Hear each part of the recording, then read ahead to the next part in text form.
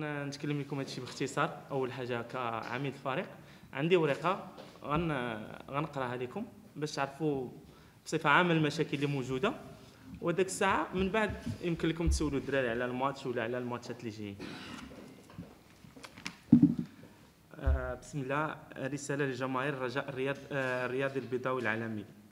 بداية نتوجه نحن معشر لاعبي الرجاء البيضاوي. بخالص عبارات التقدير والشكر لجماهيرنا العظيمة على دعمها الكبيرة ولأجلها نؤكد أننا تحملنا ومنذ فترة طويلة صعوبات وإكراهات يعرفها كل المتابعين المغاربة وخارج المغرب بشكل أساء لصورة نادينا الكبير.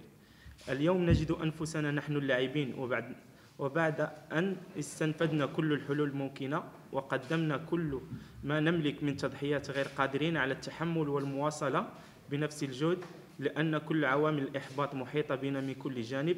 ولا تحفزنا على أن نسير الطموحات التي يرغب فيها أنصار النادي كما يرغب فيها المدرب سي محمد فاخر وحتى اللاعبين. فقد تحملنا ومنذ فترة طويلة عامل غياب ملعب قار لنكون اليوم قد قطعنا 9000 كيلومتر وهي مسافة تقطعها الأندية في موسم كامل. تحملنا الإرهاق والتعب والتنقل من البيضاء لأكادير ثم مراكش وغيرها من الملاعب. تحملنا ظروف صعبة في التدريب وقاومنا لأجل الرجاء.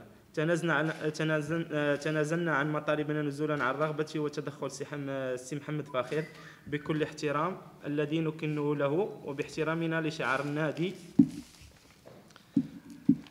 ولتضحيات جماهيرنا. ولم نتقدم ولو في مرة باعتذار عن اللعب رغم ما صادفناه من صعوبات وعوامل إحباط. اليوم أيضا نعلن أنه يستحيل أن نواصل نفس الإيقاع ونحن نصطدم بواقع مر. واقع المستحقات والمنح ولا يوجد في الأفق ما يضمن لنا حقوقنا. وحين نسأل عنها نواجه كل مرة بعبارة سير حتى تجي.